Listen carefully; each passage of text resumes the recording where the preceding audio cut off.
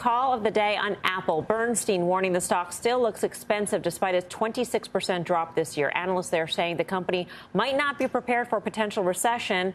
Courtney?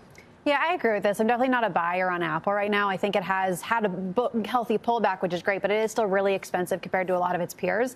And they do still have a lot of your point, a lot of services sectors, which is great, but it is not a majority of their business right now. And people aren't necessarily going to be out spending, buying new iPhones. If we're inflation's higher, we're going to have to choose: are you going to go on buy an iPhone or go on a trip? And people are going to go on that trip right now, and I do think that can continue to affect them.